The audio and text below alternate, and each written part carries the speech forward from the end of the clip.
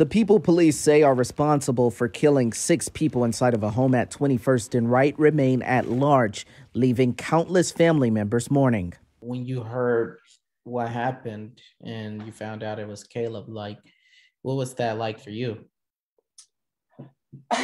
um, I just don't understand that's the only thing for me I don't understand. And one of those people, Praise Goodman, who said she met her younger brother, Caleb Jordan, later in life. The two shared fathers, and once reconnected, they quickly built a strong bond, a bond lasting for nearly a decade. When we were always together, we always talked about life. We talked about his life. We talked about our our connection with our family, how our family is, you know.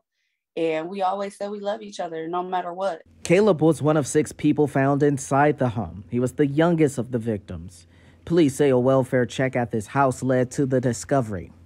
Caleb didn't deserve that. And the person that I know, he he didn't deserve to go out like that. Praise says her brother also dealt with lupus. He was fighting to stay alive and live a full life. She hurts knowing that won't happen because of a senseless crime. You're sick. Like, how could you take somebody life like that? Like, you know, and I don't even know his last moments, and I can only imagine how he was feeling in that moment.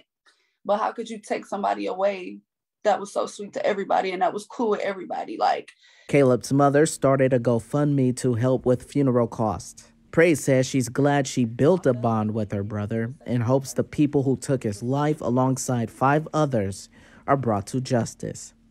In Milwaukee, Tony Atkins, TMJ4 News.